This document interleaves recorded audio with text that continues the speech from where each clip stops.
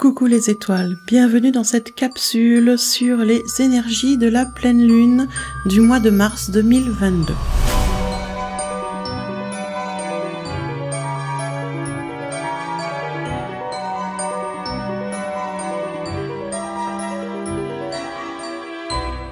Alors, cette pleine lune du mois de mars va être à son apogée sur la journée du 18 mars 2022 à 8h20 minutes 37 secondes exactement, heure de Paris. Je précise bien heure de Paris. Si vous êtes sur un autre fuseau horaire, je vous invite à faire vos recherches via les moteurs de recherche en tapant votre localisation.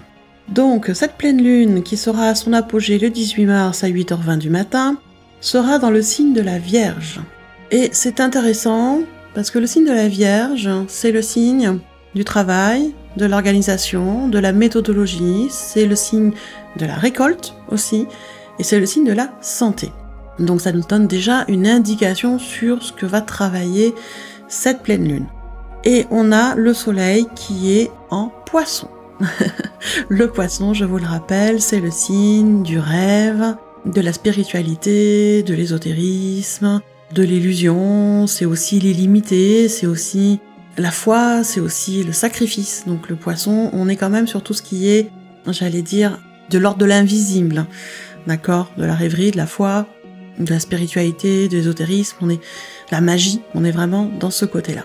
Et je vous précise ça pour que vous compreniez parce que la pleine lune, on a vraiment cette opposition entre la lune et le soleil, hein, la lune d'un côté, le soleil de l'autre. Et c'est le moment du cycle lunaire où on récolte, effectivement. C'est le moment du cycle lunaire où l'énergie de la Lune est à son plus fort. C'est là où sa vibration est la plus forte et la plus puissante. Et c'est le moment où on va déjà faire un point de ces 15 premiers jours de cycle. C'est-à-dire qu'à la nouvelle lune, on a posé nos intentions, on a fait des actions, et là, sur la pleine lune, on va faire le point par rapport aux intentions qu'on a posées avant. Où est-ce qu'on en est? Les actions qu'on a entreprises, est-ce qu'elles ont réussi? Est-ce qu'elles ont échoué? Si elles ont échoué, pourquoi? Qu'est-ce qui s'est passé? Comment on peut réajuster? Les intentions qu'on a posées, est-ce qu'elles sont toujours d'actualité? Parce qu'on peut avoir réussi nos intentions, nos buts, c'est-à-dire avoir eu un résultat euh, positif escompté, et donc l'intention n'est plus en cours puisqu'elle a été réussie. Dans ces cas-là, vous pouvez sur la pleine lune reposer de nouvelles intentions pour le reste des 15 jours suivants de la fin du cycle ça pose pas de souci. Ou vous pouvez réajuster vos intentions, d'accord? On est vraiment sur une énergie très forte sur cette pleine lune, et là pour le coup, avec cette lune dans le signe de la Vierge et le soleil en poisson, déjà ça nous donne une indication. Ça nous donne une indication de quoi? Ça nous donne une indication que sur cette pleine lune, il va être nécessaire de se poser pour s'occuper de soi, pour voir où est-ce qu'on en est. Est-ce qu'on a satisfait nos besoins? Je parle des besoins fondamentaux de l'être humain. Est-ce qu'on a vraiment satisfait tous nos besoins? Ou est-ce qu'il y en a certains qui sont un peu en déséquilibre? Et qu'est-ce qu'on peut faire pour les remettre en équilibre? Est-ce qu'on a choyé notre intimité, notre cœur sacré, notre univers à l'intérieur de nous? Est-ce qu'on s'est occupé de cet univers intérieur? Est-ce qu'on lui a envoyé de l'amour? Est-ce qu'on a été regarder ce qui se passe et est-ce qu'on a été remettre de l'énergie positive dans cet univers intérieur, dans ce jardin intérieur? Vraiment, cette, cette pleine lune, elle est là pour nous dire, occupe-toi de toi, amène de la douceur en toi, amène de l'amour en toi.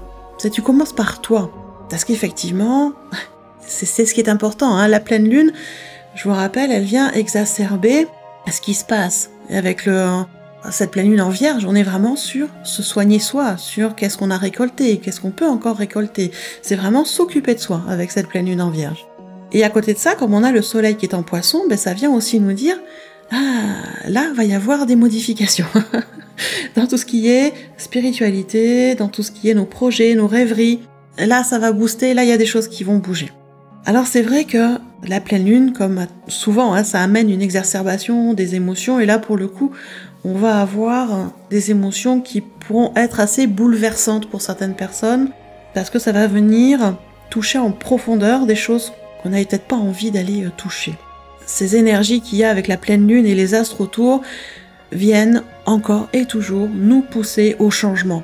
Mais là, on est sur un changement de structure. Je vous rappelle, hein, le signe de la Vierge se travaille l'organisation.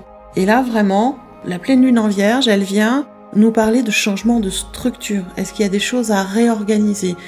Est-ce que dans votre façon de vivre, tout est OK pour vous, tout est en harmonie, tout est en équilibre, ou est-ce qu'il y a des choses à modifier, que ce soit dans le rythme de vie, dans l'alimentation, dans la façon dont vous vous habillez peut-être, ou la façon dont vous vous exprimez, la façon de vous tenir aussi, la posture, c'est important. La posture amène l'énergie. Si vous êtes dans une posture toute fermée, l'énergie va être bloquée. Si vous êtes dans une posture ouverte, l'énergie va circuler. Donc voilà, on est dans cette énergie de la pleine lune avec cette énergie de changement de structure et ça va toucher tous les domaines de vie, que ce soit au niveau professionnel, comme au niveau personnel, au niveau familial, au niveau amoureux, amical, dans nos relations. Il va y avoir plein, plein de changements. Et des changements que vous allez pouvoir mettre en conscience et acter de façon consciente et en pleine présence de, vous-même et de ce que vous voulez, en pleine conscience de vos valeurs et de vos besoins, vous allez pouvoir les acter, mais il y aura des changements aussi qui vont être inattendus, assez brusques, comme si l'univers nous imposait ces changements. Et quand on a des impositions comme ça, on a tendance à, freiner et à dire ah non non non non j'en veux pas, on résiste. Ce qui est normal et ce qui est humain. On va pas se flageller là-dessus. Par contre, les changements impromptus comme ça, envoyés par la vie, par l'univers, par Dieu, vous l'appelez comme vous voulez, la plupart du temps, ce sont des changements quand on les accueille et qu'on les accepte pour ce qu'ils sont et qu'on acte vraiment ce changement et qu'on dit bon ok, il y a ce, changement-là qui se met en place, je l'accueille à bras ouverts et je vois ce qui m'amène. Et la plupart du temps, quand on est dans cette posture-là justement d'ouverture et d'accueil, vous allez vous rendre compte que ce changement inattendu finalement va vous apporter nombre de résultats, nombre d'effets positifs, beaucoup plus que ce que vous l'auriez imaginé et beaucoup plus que vous auriez pu le croire.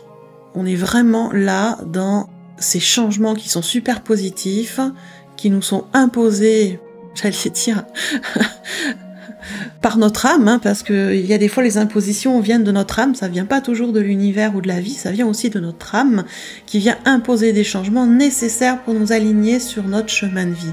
Et tout ce travail sur la pleine lune va être d'être dans l'accueil de tout ça. Alors bien évidemment, il y a euh, les autres planètes, astres autour dans notre galaxie qui viennent mettre leur grain de sel. On peut pas dire autrement, hein, ils viennent toujours mettre leur grain de sel, euh, mais c'est intéressant. C'est intéressant, c'est-à-dire que, bah, on le sait, on a toujours Saturne en verso, qui est là encore pour un petit moment. qui est là jusqu'en mars 2023, hein, donc euh, pour encore un an, et qui nous amène toujours quelques difficultés euh, par rapport à ce qu'on souhaiterait obtenir. Voilà. Ah, Saturne qui vient euh, bloquer certaines situations, dans certaines personnes, dans certaines cas de figure, on va dire. Mais voilà, Saturne est toujours là, qui nous bloque un peu. Et en plus, comme on a Mars qui est toujours dans le signe du Verseau, enfin encore dans le signe du Verseau, Mars vient euh, mettre une énergie assez forte. Mars, on est avec quand même cette énergie guerrière du dieu de la guerre. Et avec cette sensation d'être bloqué, eh bien, Mars va venir activer des émotions de colère. On a ça qui risque de se produire sur cette pleine lune, des grosses crises de colère. On voyait tout balader comme un volcan qui explose, d'avoir des réactions euh, très inattendues, des réactions émotionnelles qu'on a quasiment peu ou très peu, mais qui d'un coup vont exploser comme ça et pas spécialement apporter des effets très positifs. Donc attention avec ça parce qu'il y a quand même cette énergie de, de colère là qui brasse très fort avec Mars et Saturne en, en verso. On a une chance quand même, c'est que avec Mars, il y a Vénus qui vient temporiser quand même tout ça. Vénus qui vient apporter beaucoup d'amour, qui vient aussi apporter beaucoup de créativité dans tous les domaines. Donc c'est intéressant. C'est intéressant parce que euh, ça veut dire que si on prend conscience de ce qui se passe en nous, dans nos émotions, de qu'est-ce qui se brasse à l'intérieur, on va pouvoir, même si Mars apporte une énergie très forte, voire une énergie de colère, c'est se servir de cette énergie forte, en fait, pour faire quelque chose de positif, comme trouver une solution pour gérer une situation ou un problème qui est en cours, quelque chose qui en ce moment ou à ce moment-là vous pose souci, eh bien, essayez d'utiliser cette énergie de Mars et cette espèce de, de forte colère, voire frustration qui est à l'intérieur de vous, de transformer cette énergie en quelque chose de positif pour trouver une solution. D'autant plus qu'on a Vénus à côté qui nous aide, qui nous amène de l'amour, qui nous amène de la créativité. Et donc si on couple l'énergie de Mars et de Vénus, il y a de fortes chances qu'on trouve une solution à cette situation qui nous euh, pose problème, à ce problème qui nous euh, rumine le cerveau à l'intérieur. Donc essayez vraiment de d'utiliser cette énergie-là pour vous, pour votre bien.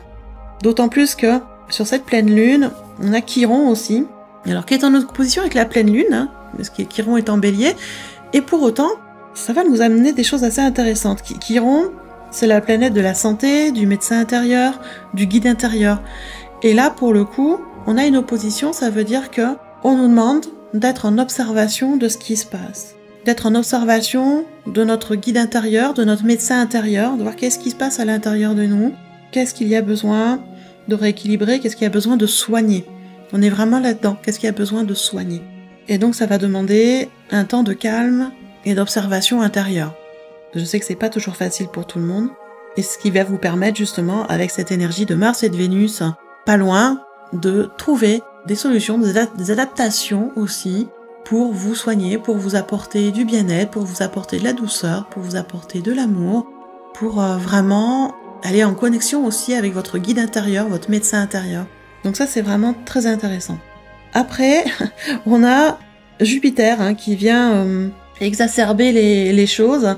Alors Jupiter c'est euh, la planète de l'évolution, la planète de l'expansion, de la générosité. Jupiter en poisson avec le soleil. Alors, Jupiter, il va nous amener sur cette pleine lune un besoin très très fort de nous libérer de tout ce qui est contraignant, de tous les liens qui sont pénibles à vivre, de tous les liens qui nous demandent des efforts et nous pompent de l'énergie. Et donc, ça va vraiment être ça, c'est de lâcher tous ces liens-là qui sont plus nécessaires. Et c'est dans tous les domaines. Hein. Quand je parle de liens qui vous pompent de l'énergie, qui sont pénibles, ça peut être de tout. Ça peut être une relation qui est compliquée, qui ne vous nourrit plus, qui vous apporte finalement plus de contraintes que de bénéfices. Alors que ce soit une relation amicale ou une relation amoureuse ou une relation professionnelle aussi. Hein. Ça peut être dans le domaine justement professionnel, des liens pénibles au niveau du travail, alors que ce soit avec des collègues ou des supérieurs, ou que ce soit par rapport à votre travail aussi. Vous en avez peut-être un ras-le-bol, et peut-être que c'est pas un travail adapté à votre rythme naturel, que ça demande beaucoup de contraintes, beaucoup de responsabilités, et que vous êtes à un stade où vous avez envie d'alléger. Ça peut être aussi des contraintes qu'on s'impose à soi-même tous les jours. On doit faire ci, on doit faire ça, et vas-y qu'on en rajoute on se rajoute des charges dessus pour s'occuper des enfants, s'occuper du mari, s'occuper de la belle-mère, s'occuper de nos parents, s'occuper de je sais pas qui. On oublie de s'occuper de nous, mais ça nous met des responsabilités qu'on n'avait pas prévues, des charges mentales et physiques dont finalement on se passerait bien. Et c'est ce que Jupiter vient mettre en lumière sur cette pleine lune. Toutes ces choses-là qui sont pénibles, qui sont contraignantes, qui demandent beaucoup d'énergie, qui ne vous nourrissent plus, qui ne vous apporte rien de positif, tous ces liens-là, quel que soit le domaine de vie, il est temps de les lâcher. Il est temps de les couper, il est temps de poser aussi les limites. Alors ça ne veut pas dire, quand c'est des relations avec d'autres personnes, qu'il faut euh, fermer la porte et ne plus voir ces personnes. Non, ça ne veut pas dire ça. Ça veut dire qu'à un moment, il va falloir poser vos limites en disant ça, je ne veux plus le faire, ça, tu es capable de le faire tout seul ou toute seule laisser aux gens leur responsabilité de leur vie et leur autonomie et n'allez pas faire à leur place. Ou arrêtez de faire à leur place ce qu'ils vous ont demandé parce qu'eux ils sont tranquilles pépères pendant que vous vous faites le double de boulot et pour vous et pour les autres. Donc à un moment, redonnez le paquet aux gens. c'est à eux, ils s'en débrouillent. Hein. Ça veut dire ça aussi, hein, euh, libérer les liens. C'est poser des limites et dire écoute, moi je veux bien t'aider à certains moments, mais pas tout le temps. À un moment, tu te débrouilles. T'es grand, t'es adulte, t'es majeur, tu te débrouilles, surtout quand c'est des parents, des beaux-parents, des oncles, des tantes. C'est bon, ils sont adultes depuis longtemps. D'accord? Et pour les enfants qui sont adultes, c'est pareil. C'est pas parce qu'on est parents, maman, papa, qu'on est obligé de tout faire à leur place. À un moment, laissons-leur la responsabilité de leur vie, d'assumer la conséquence de leurs choix, et arrêtons de prendre des responsabilités qui ne sont pas à nous. Et c'est vraiment ça ce que cette pleine lune vient mettre en exergue. Vous rappelle, cette pleine lune dans la Vierge qui vous dit Occupez-vous de vous et pas des autres. Les autres, ça viendra après. On commence par soi et on lâche tout ce qui ne nous convient plus. On lâche ces liens qui nous pompent l'énergie. Donc ça, ça va être un gros, gros travail, hein, parce qu'on le fait régulièrement hein, sur la pleine lune et sur d'autres phases de vie. Mais là, il va être très important à faire, d'autant plus qu'on approche du printemps et du changement de saison. Donc c'est vraiment important de dégager les choses là, de faire de la place pour pouvoir mettre des nouvelles choses en place au printemps. Après, je voulais vous parler également de la planète Pluton.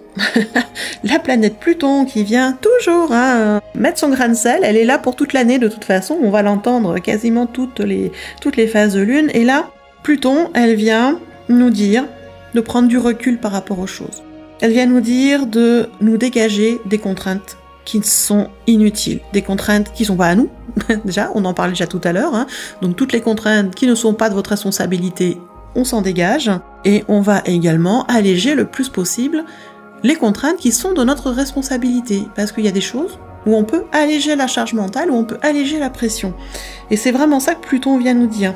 Alléger la pression. Voyez pour faire des changements pour alléger justement la pression, adopter un nouveau rythme de vie qui vous convient mieux. Alors je sais que pour ceux qui sont salariés, c'est pas toujours évident parce qu'on a des contraintes liées au travail salarial, d'arriver à telle heure, de repartir à telle heure, de faire telle et telle chose, oui, c'est ok. Dans votre travail, même si vous avez des contraintes d'horaire, à l'intérieur, vous avez un minima de choses obligatoires à faire. On a tendance à rajouter des choses. C'est peut-être pas la peine de rajouter et de se mettre de la pression. Faisons ce qui est obligatoire et voyons si on a du temps pour avancer le reste. D'accord? Que vous vous tuiez à la tâche, ça vous rapportera pas une médaille en plus. Juste de la fatigue, un stress, un burn-out et peut-être bien pire au niveau santé. Donc, on fait l'obligatoire et le superflu, on verra si on a le temps. Si on n'a pas le temps ou qu'on n'a pas envie, ben on peut le faire le lendemain. En dehors des contraintes salariales, des horaires de travail, tout ce qui est autour, c'est votre responsabilité. Il ne tient qu'à vous d'alléger le rythme ou de mettre un rythme qui vous convient. On n'est pas obligé de courir tout le temps. On n'est pas obligé de crier tout le temps. On n'est pas obligé de suivre le rythme du groupe sociétal parce que la société euh, a envie que vous fassiez ci, ça et ça. On n'est pas obligé. Faites ce qui est bon pour vous. Et si pour vous, ce qui est bon, c'est de ralentir le rythme, de faire du lèche-vitrine, de prendre du temps pour regarder les oiseaux chanter quand vous marchez dans la rue, bah faites-le. Voilà. Faites ce qui est bien pour vous. Mais vraiment, Pluton vient nous dire ça. Dégagez-vous des contraintes qui ne sont pas nécessaires. Prenez du recul. Adoptez un rythme de vie qui vous convient, qui va vers votre bien-être. Pas vers celui des autres, mais votre bien-être. Et il sera peut-être nécessaire de faire des changements. Mais ça déjà, prenez conscience de là où vous en êtes, de quel rythme vous convient, et après vous verrez pour faire des changements tranquillement au fur et à mesure. Que tout ne se fait pas en deux jours, hein. on prend le temps, d'accord? Et on n'oublie pas, j'allais dire l'autre grand divorcé, Uranus, notre grosse planète qui est toujours en taureau, et qui vient là aussi exacerber nos émotions dans le ras-le-bol. Je vous rappelle que Uranus pousse au changement, pousse à la liberté. Et Uranus, nous pousse là, avec la pleine lune en vierge, à lâcher les dépendances, lâcher les directives qu'on nous impose. Donc ça va venir exacerber cette émotion de je parlais tout à l'heure, de, colère, de frustration, de, de ras-le-bol. Donc voilà, on a, a une pleine lune quand même qui, qui bouge, hein, et puis on a toujours Mercure. Mercure qui est en poisson avec le soleil, donc qui va être vraiment impacté par cette énergie de la lune qui vient amplifier son énergie et Mercure, Mercure c'est le mental, Mercure c'est le dialogue. Et là pour le coup, on va avoir une recrudescence du mental très fort. Parce que justement, à côté, on vous demande des changements, on vous demande de lâcher les choses, on vous demande de vous dégager. Et là, le mental, ça lui fait changer toutes ses habitudes. Et il veut pas. Et donc, il va partir à fond. Le petit vélo, il va se mettre à trotter à fond dans la tête et à faire remonter des fausses croyances, à faire remonter des peurs, à faire remonter des doutes. Il va aussi freiner des quatre fers par rapport à la communication. Vous allez avoir peut-être du mal sur cette période-là à vous exprimer avec des mots, à trouver les bons mots. Vous allez avoir peut-être du mal à communiquer avec les autres. Et comme vous avez du mal à trouver les bons mots, vous avez du mal à vous faire comprendre et ça peut amener des, des quiproquos, des disputes. On va être dans un système de dialogue de sourds pendant cette pleine lune. C'est tout à fait ça. C'est le dialogue de sourds. Chacun parle, personne ne s'écoute, et ça fait un brouhaha, et finalement ça met le bazar et tout le monde se met en colère. Donc attention avec tout ça, parce que ça va demander, du coup, pour éviter de tomber dans cette colère, dans, dans ces frustrations, ça va nous demander un effort. Un effort, prendre le temps de trouver les bons mots, un effort pour être clair par rapport à ce qu'on ressent. Donc clair déjà en soi, faut être clair de ce qu'on ressent avec soi-même pour après pouvoir l'exprimer de façon claire à l'autre. Ce qui va demander beaucoup d'efforts sur ces jours de pleine lune là. Ça va être euh, compliqué d'exprimer ce qu'on ressent, d'exprimer ce qu'on a besoin, d'exprimer ce qu'on ne veut plus, que ce soit pour nous ou pour les autres. D'accord? Ça va être compliqué tout ça. Il va être important de suivre votre intuition là-dessus. Vraiment, ça va être très très important.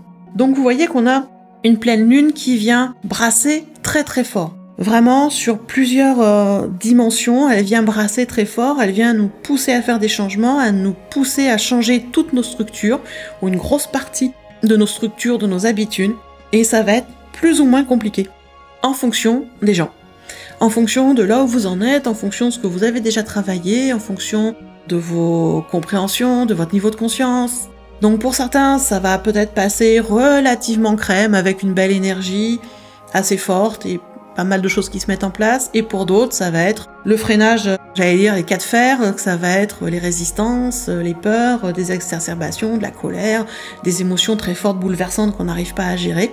Et donc je vous rappelle qu'on est sur une pleine lune en vierge qui nous pousse au changement de structure et qui nous pousse aussi à nous occuper de nous et à nous soigner. D'accord? D'autant plus que sur cette pleine lune, on est sur, numérologiquement parlant, sur une vibration en 333 quadruplée. Bien évidemment, sinon c'est pas marrant. Vibration 333 et 9. et oui, on est sur une journée de pleine lune qui est une journée de passage énergétique. D'accord? Donc on va retrouver plusieurs vibrations et dans ces vibrations, on va retrouver principalement, je vous le disais, cette vibration 333, vibration 333 qui vous relie au maître ascensionné, au monde angélique, aux archanges, qui vous encourage à être créatif, à être communicatif, à utiliser vos capacités vos talents naturels. C'est-à-dire que cette vibration, elle vous incite à vous connecter à votre intuition, à votre âme, à ce qui est facile pour vous. Alors c'est une vibration qui est très intéressante, qui est très douce, avec cette reliance à l'angélique, d'accord, qui va venir vous aider dans la créativité et la communication, ce qui est pas plus mal puisque on a des planètes qui freinent la communication. Donc c'est bien qu'on ait une vibration à côté qui nous aide. On va avoir également la vibration 9. La vibration 9, c'est une vibration qui annonce une fin de cycle et un recommencement. Et oui, même si on est au milieu du cycle lunaire, pour le coup, au niveau des vibrations numérologiques, on est sur un nouveau cycle. Ce qui est pas, euh, j'allais dire, anodin, parce que 15 jours après, on va le démarrer, le nouveau cycle lunaire. Et donc si on commence déjà là à le travailler et à savoir qu'est-ce qu'on veut, où est-ce qu'on veut aller, ça va être plus facile dans 15 jours. Donc avec cette vibration 9, on est sur une énergie de cycle, une énergie de spirale en fait, et qui vient symboliser l'idéal, le spirituel, l'altruisme, le dévouement, la compassion, la générosité. Donc c'est quand même intéressant comme vibration. Si on la prend sans résistance, parce que si vous mettez des résistances dessus, vous allez être plus sur des énergies de repli, d'isolement, d'austérité, ce qui est beaucoup moins sympa finalement. Hein. Donc on est quand même sur des vibrations qui viennent pousser à nous relier à notre force intérieure, à notre intuition, à nos capacités pour aller résoudre ce qui se passe dans nos vies. Et la dernière vibration qu'on va avoir sur cette pleine lune, c'est la vibration du 6. La vibration du 6, elle est quand même magnifique. On est sur l'amour inconditionnel, sur la beauté, sur l'harmonie, sur la famille, mais aussi sur la responsabilité. Donc, voilà. C'est une vibration qui est intéressante. Bon, attention aussi à ne pas idéaliser les choses et à ne pas être trop perfectionniste, hein, parce que là, du coup, ça sera un peu compliqué. Donc vous voyez qu'on a des vibrations qui sont quand même très porteuses et qui viennent bien équilibrer les énergies de cette pleine lune qui nous brasse très fortement. Alors, par rapport à ce brassage et au fait de prendre soin de soi, Sachez que, comme à chaque pleine lune et à chaque nouvelle lune, je vous propose un soin énergétique collectif. C'est un soin de groupe qui se passe de chez vous à distance, donc il n'y a pas de lien internet, il n'y a pas de lien Zoom, c'est un lien de cœur à cœur, d'âme à âme. C'est-à-dire que moi je fais le soin et j'envoie l'énergie du soin au groupe. Donc on est sur un soin de groupe qui est limité à 50 personnes. Sachant qu'il y a à peu près 25-26 personnes d'abonnés, ça veut dire qu'il y a à peu près 25 places de disponibles au moment où j'enregistre cette capsule. Donc, à savoir que sur ce soin, il y a deux phases. Il y a une phase de nettoyage et d'harmonisation des énergies du groupe, où dans cette phase de nettoyage, j'accueille les énergies, les entités de lumière, les entités positives à venir nous aider. Donc ça peut être des maîtres ascensionnés, des archanges, des animaux de pouvoir, des pierres, des plantes. Voilà, c'est ça peut être euh, très varié. D'un soin à l'autre, c'est très différent. Et chaque énergie positive vient nous apporter quelque chose de particulier sur ce soin et vient nous guider et nous aider à travailler quelque chose de particulier. Dans la deuxième partie du soin, je prends un temps pour me connecter au guide de chaque personne inscrite pour demander s'il y a un message à faire passer. Alors, en sachant que ce message, c'est une guidance, certes, mais c'est une petite guidance, c'est une ou deux phrases qui vous permettent de savoir où vous en êtes, ce que vous avez à travailler. C'est pas toujours très clair, la phrase envoyée par les guides. Et il y a des fois, ça vous demande à vous de faire une recherche, de faire une introspection aussi, pour comprendre qu'est-ce qu'ils veulent dire. Donc voilà, c'est un soin que je vous ai collectif en deux phases. Une phase de nettoyage d'harmonisation et une phase de canalisation. Deux à trois jours après le soin, vous recevez un mail expliquant tout ce qui s'est passé durant le soin, dire qu'est-ce qui a été nettoyé, quelles euh, énergies étaient là avec nous et surtout qu'est-ce qu'elles symbolisent.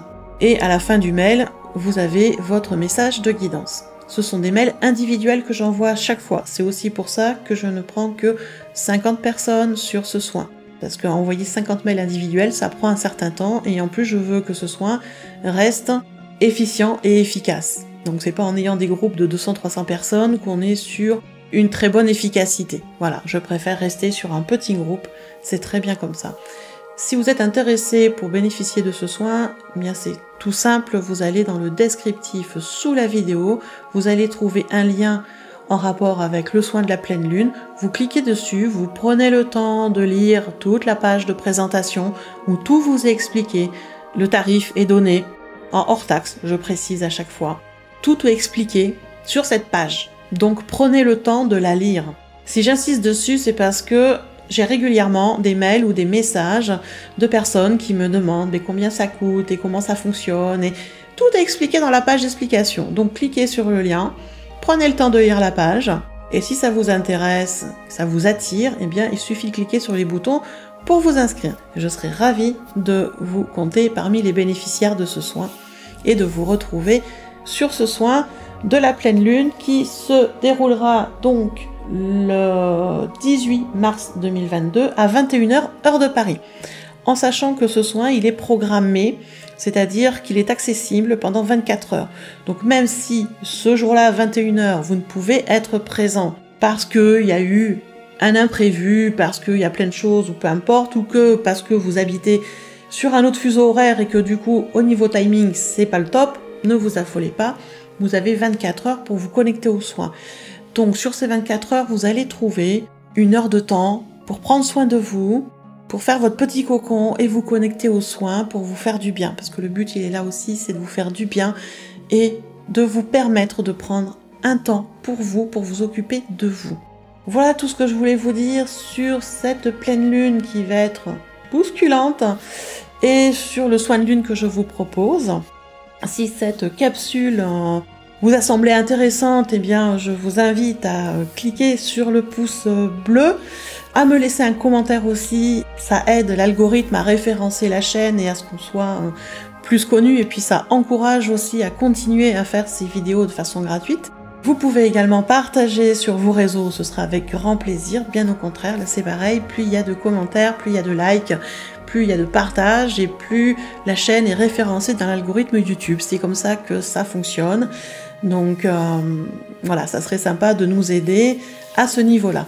Euh, si vous avez envie d'aider par un don, là c'est pareil, vous pouvez aussi euh, le faire. J'ai mis en place une cagnotte en ligne avec paiement par carte bancaire et vous avez également un lien pour faire un don par PayPal pour ceux qui ont envie de donner, pour remercier du travail effectué, du temps pris, pour euh, nous encourager à continuer aussi tout ça. Vous avez toutes les indications euh, pour les dons dans le descriptif, c'est pareil. Voilà, donc allez-y avec grand plaisir et je remercie ceux qui l'ont déjà fait.